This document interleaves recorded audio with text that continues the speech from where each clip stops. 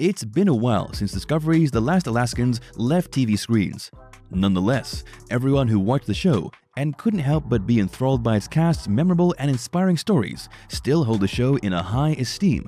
Out of the cast members, Charlie Jagow was well remembered for being the youngest. Surprisingly enough though, his youth didn't deter him from being extremely experienced when it comes to surviving in the solitude of the Arctic National Wildlife Refuge.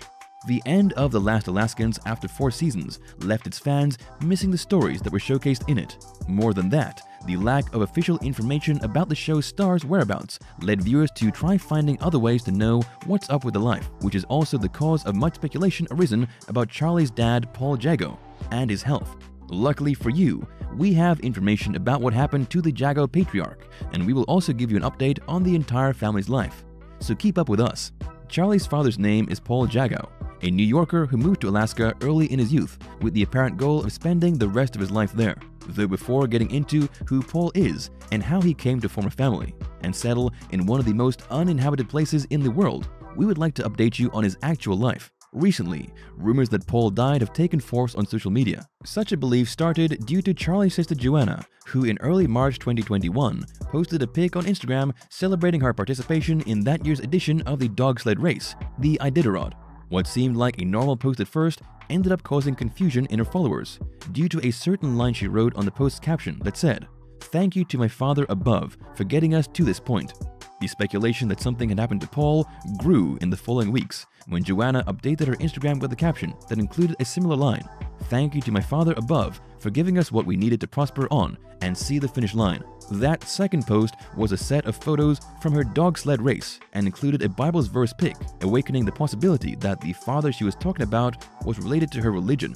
However, the closest people to Paul haven't posted anything in his honor, nor can an obituary for him be found on the internet. If you add that to the fact that Joanna's post can easily be interpreted in a religious way that is unrelated to Paul, it's somewhat safe to assume that he's alive and hopefully healthy as well. While the rumor of Paul's death has been debunked, it's important to point out that Charlie Jagow and his parents are not fans of social media.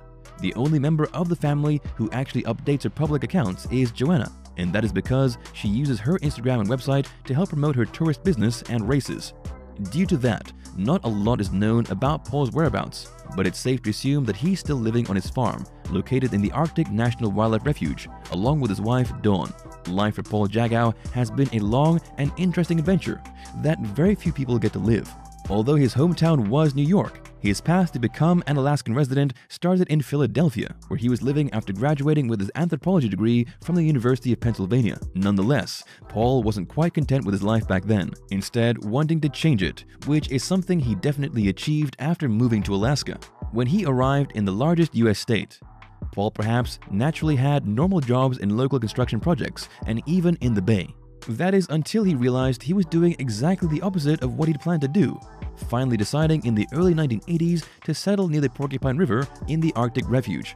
Despite the fact that he was a city guy, getting used to hunting for food and using sled dogs as transportation wasn't so bad. Adapting to not seeing another human for months was also easy, which comes in handy with the fact that receiving guests in your wood cabin that has no plumbing or electricity is probably not the best idea. Paul's uncommon lifestyle still caught the attention of people, including the Los Angeles Times journalist Bill Curry, who in 1984 traveled to Alaska and visited Paul's home in the mountains. I enjoy doing the things I do out here, one after the other. I do like being reliant on myself as much as I can be, he said, showing himself calm, comfortable, and unapologetic during the interview. The story of how Paul Jagow passed from being a single and solitary man to being a family guy is unknown. However, it doesn't come as a surprise to know that his wife Dawn adopted his lifestyle by also settling in the refuge with him, leading their kids, Charlie and Joanna, to grow up surrounded by the impressive and unique scenario that living near the Porcupine River provides. Paul and Dawn haven't revealed how their love story started,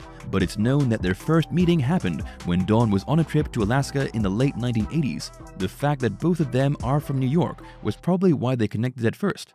But love was the reason Dawn took that big step and changed her city life in favor of Alaska. Out of all the members of his family, Charlie Jagow is the most famous, due to his memorable appearances in The Last Alaskans. The thing that's most inspiring about him is not really the fact that he was raised in such a naturally harsh environment, but that he continues the legacy of his family. and some of the other tough people who have adopted to the harsh living conditions of the Arctic National Wildlife Refuge. In the show, viewers got to see the start of Charlie's path as an independent young man, building his own cabin, hunting by himself, and dealing alone with the difficulties of life in the refuge.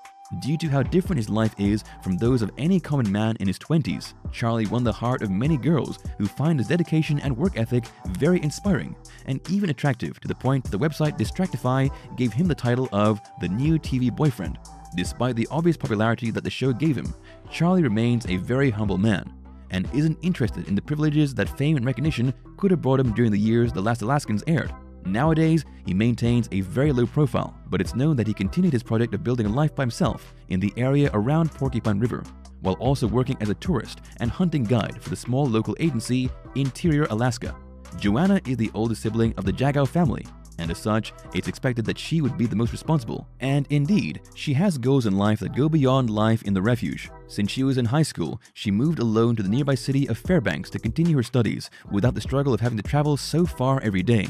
After her matriculation, Joanna obtained a nursing degree at the University of Alaska Fairbanks. However, despite how much of a city girl she looks, her biggest passion stays in the mountains, where from an early age she learned from her father how to use sled dogs for transportation. As early as in high school, Joanna developed a love for races, which led her to form her own team, Motley Crue Sled Dog Kennel. It wasn't until her freshman year in college that things became serious, and Joanna was finally able to race professionally with her team. It apparently went so well for her that she started a website dedicated to it, on which she not only promotes the dog sled race driver occupation, but also offers people several options to economically support her canine team. Nowadays, Joanna works as a nurse in Fairbanks Memorial Hospital, while pursuing her side career as the commander of Motley Crue Sled Dog Kennel, which is an out of the norm but incredibly exciting combination. So, what is the Alaska Alaskans? Living and providing for yourself in the middle of the Alaskan wilderness, which is often merciless weather, including below zero temperatures, already sounds like a hard task. However, the Alaska Alaskans cast members are able to do this and much more, even facing many obstacles such as politics, the environment's problems, and their own needs for basic services. That's a simple way to describe what these families do, but their situation isn't led by selfish motives, as some of these families have been inhabiting the Arctic National Wildlife Refuge for generations. Even if the place's population has rapidly decreased during the last few decades, many of these people will remain there because it's their home.